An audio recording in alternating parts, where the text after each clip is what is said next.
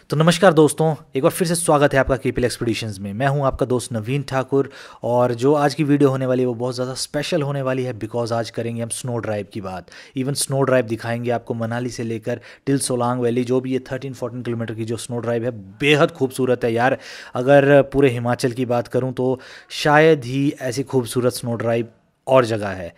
तो अगर मैं हिमाचल की बात करूँ तो पूरे हिमाचल में सबसे ज़्यादा खूबसूरत स्नो ड्राइव यही मानी जाती है, मनाली से सोलांग वैली। बट उसके लिए स्नो भरपूर होनी चाहिए। तो दो चार दिन पहले से डेली मौसम ख़राब था और स्नो भी इस बार काफ़ी अच्छी हुई है। बट थोड़ा लेट हुई है, चलेगा बट बहुत अच्छी हुई है। तो फ्रेंड्स अब आप थोड़ी देर मज़ा लीजिए स्नो ड्राइव का। उसके बाद फिर से मिलते हैं, क्योंकि आपने पिछली जो वीडियो में बहुत सारे यू नो क्वेश्चन पूछे थे, उनका भी जवाब देना है।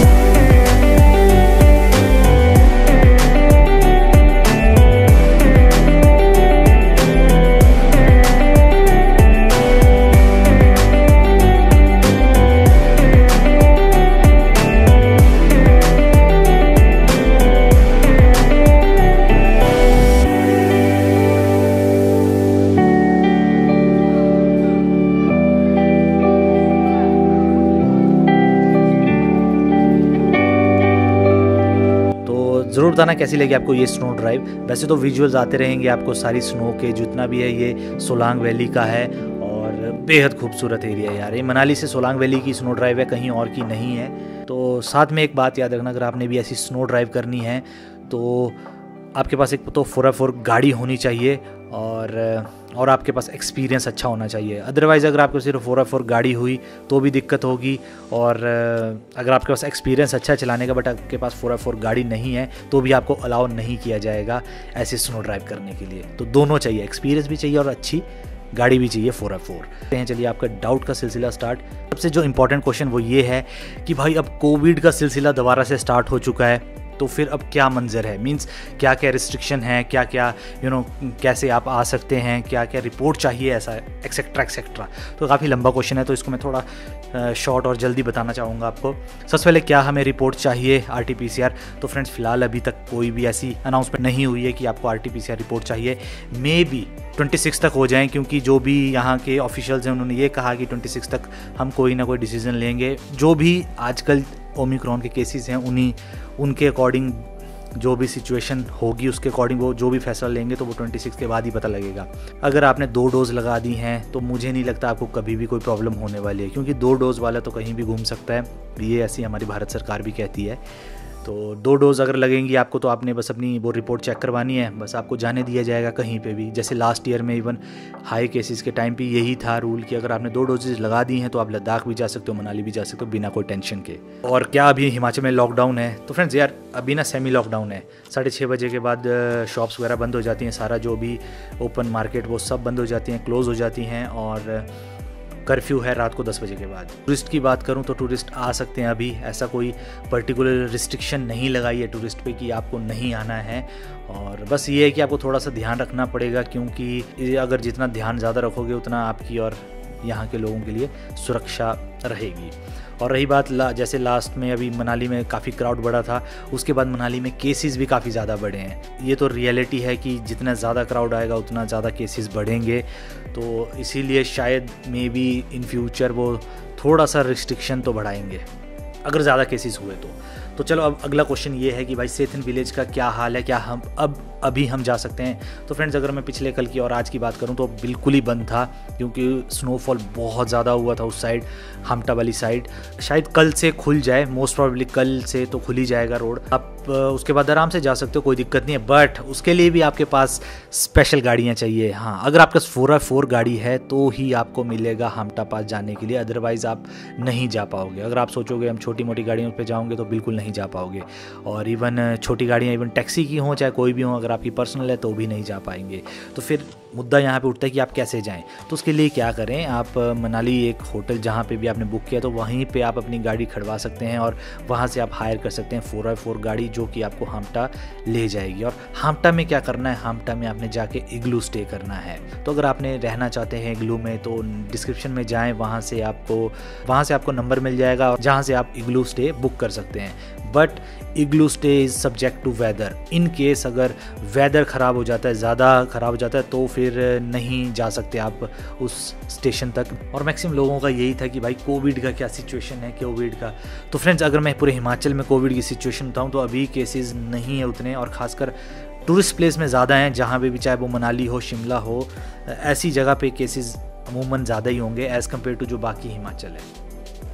तो काफ़ी लोगों ने थैंक्स बोला था, क्योंकि मैंने पिछली बार जब कहा था कि भाई, अभी का जो हफ़्ता है पूरा स्नोफॉल वाला है तो इसमें लोगों ने बहुत मज़ा किया है। माल रोड में मज़ा किया, शिमला में मज़े किए हैं। तो तो चलो, कुछ तो सही हुआ बट वही बात है वेदर पे टोटली हम डिपेंड नहीं रह सकते, क्योंकि वेदर का फिफ्टी फिफ्टी होता है, कई बार हो जाता है प्रॉपर कई बार नहीं हो पाता। जो अगला क्वेश्चन ये है कि भाई, क्या हम यू नो मनाली से सोलांग वैली अपनी गाड़ी में जा सकते हैं? तो फ्रेंड्स यार मैंने पहले भी कहा है भाई, आप अपनी गाड़ी में जा सकते हैं अनटिल एंड अनलेस वहाँ पे स्नो ना हो। अगर स्नो हुई, चाहे वो दो इंच से ऊपर हुई तो मतलब तब आपको जाने नहीं दिया जाएगा। एक्चुअली उसका रीज़न ये होता है कि जैसे ही मान लो टूरिस्ट को इस रोड पे, जैसे आप अभी देख रहे हैं यार, पहले तो देखो कितना खूबसूरत है। और कई बार ये जो रोड आपको दिखाई दे रहा है, बिल्कुल बर्फ़ से जमा होता है। और ख़ासकर जब ब्लैक आइस कई बार सुबह मीन्स समझ रहे हो, आज स्नोफॉल हुआ, कल धूप लगी या परसों धूप लगी तो फिर यहाँ ब्लैक आइस जम जाती है। कई पॉइंट है मनाली से लेकर सोलांग वैली के बीच में, जो वहाँ पर काफ़ी ज़्यादा एक्सीडेंट होते हैं, जिसके कारण ट्रैफ़िक बहुत लगता है और यही रीज़न होता है कि वो टूरिस्ट को नहीं देते हैं ऐसे स्नोफॉल के टाइम पे आने। आपका उसका सॉल्यूशन ये है कि आप गाड़ियाँ हायर कर सकते हो या फिर आप फोर बाई फोर अगर आपके पास गाड़ी है तो तो आपको कोई रोकने वाला नहीं है। अगर आपके पास फोर बाई फोर गाड़ी है तो आपको कोई नहीं रोकेगा। अगला क्वेश्चन फिर से कोविड से है कि मैंने दोनों वैक्सीन ले ली हैं, क्या मैं जा सकता हूँ? आर टी करवाना पड़ेगा? तो यार, अगर मैं लास्ट ईयर की बात करूँ, जिसने दोनों वैक्सीन लगा ली है तो उसको कोई ज़रूरत नहीं है R T P C R करवाने की। बट मे भी अब देखते हैं ट्वेंटी सिक्स के बाद क्या होता है। और जो अगला क्वेश्चन वो ये है कि भाई, अभी हम लेटेस्ट में बताओ होटल कहाँ बुक करें। तो फ्रेंड्स अगर मैं अभी की बात करूँ, अगर, मान लो कुछ दिनों बाद आपको लगता है कि फिर से स्नोफॉल काफ़ी तगड़ा होने वाला है तो ट्राई करें कि अगर आपका बजट कम है तो मनाली के आसपास करें। मींस शुरू प्रेणी मनाली या फिर रांगड़ी में कर सकते हो, सिमसा में कर सकते हो। बट अगर आपका बजट थोड़ा हायर एंड पे है तो आप टूवर्ड्स सोलांग वैली कर सकते हो, क्योंकि आपको उसके बाद फोर फोर गाड़ियों में जाना पड़ेगा। तो फ्रेंड्स वहाँ से आप एंजॉय कर सकते हैं स्नोफॉल का, वो भी अपनी बालकनी में बैठ के। तो अगला जो क्वेश्चन है, वो है फ़्लाइट से रिलेटेड क्या डेली टू भुंतर फ़्लाइट चलती है? ऐसा है कि चलती भी हैं और कई बार नहीं भी चलती हैं। तो फ्रीक्वेंटली तो बिल्कुल नहीं चलती हैं और पैसा बहुत ज़्यादा लगता है। अगर मैं दिल्ली टू मनाली की फ़्लाइट की बात करूँ तो मनाली का एयरपोर्ट है नियर बाय वो भुंतर है। और जो फ़्लाइट हैं, वो बहुत कम चलती हैं मींस बहुत रेगुलर नहीं चलती और महँगी बहुत होती हैं। अगर आपका नॉर्मल बोलूँ तो आठ हज़ार से कम तो बिल्कुल नहीं होता है। कई बार पंद्रह हज़ार भी होती है, बीस हज़ार तक भी होती है, पच्चीस हज़ार भी होती है। जो अगला क्वेश्चन है वो है आपका पार्वती वैली से रिलेटेड कि भाई हम खीरगंगा ट्रैक कब कर सकते हैं? तो खीरगंगा ट्रैक है, फ़िलहाल तो आप बंद है बट आप फ्यूचर में जा सकते हो, थोड़े दिनों बाद जब मौसम अच्छा खिल जाता है तो आप उसके बाद कर सकते हो। बट मैं रिकमेंड ये करूँगा कि यार फैब के बाद ही जाएँ बिकॉज़ तब कोई दिक्कत नहीं होगी। आप सुबह शाम कर सकते हैं, बिना कोई प्रॉब्लम के। क्योंकि अभी बहुत कम लोग ऊपर रहते हैं, जो ट्रेल है, वो काफ़ी डिफ़िकल्ट हो जाती है स्नोफॉल के टाइम पे। तो इसीलिए फैब के बाद आराम से जा सकते हो आप, कोई बिना कोई टेंशन के। और साथ में यही पूछा है कि भाई, अभी क्या हम मलाना वगैरह जा सकते हैं? तो फ्रेंड्स मलाना वगैरह जा सकते हो आप, बिना कोई टेंशन के। तो जो अगला क्वेश्चन वो ये है कि वाइचिन वैली जा सकते हैं। ये भी पार्वती वैली में ही है वाइचिन वैली और जिसको नहीं पता है तो ये मलाना से ही थोड़ी आगे है। तो यहाँ देखो वाइचिन वैली भी जा सकते हैं मलाना भी जा सकते हैं। बट वही बात है यार, अभी आप कुल्लू मनाली के किसी भी पार्ट में जाओ हाइट वाले पार्ट में जाओ तो वहाँ पे आपको स्नो और स्नोफॉल वाली प्रॉब्लम होगी। उसके लिए आपको बस गाड़ी अच्छी होनी चाहिए और आपके पास कपड़े अच्छे होने चाहिए। जितने भी आप अब टॉप में जाओगे, हर जगह आपको बहुत ठंड मिलेगी तो इसलिए आपके कपड़े बहुत सही होने चाहिए। तो बस फ्रेंड्स, आज के इस वीडियो के लिए इतना ही। मिलते हैं अब अपने नेक्स्ट व्लॉग में। पर जाने से पहले ज़रूर बताना कि आपको कैसी लगी आज की स्नो ड्राइव और कौन कौन ऐसी स्नो ड्राइव में जाना चाहता है। तो मिलते हैं अब अपने नेक्स्ट व्लॉग में। तब तक के लिए जय हिंद, जय भारत एंड स्टे सेफ़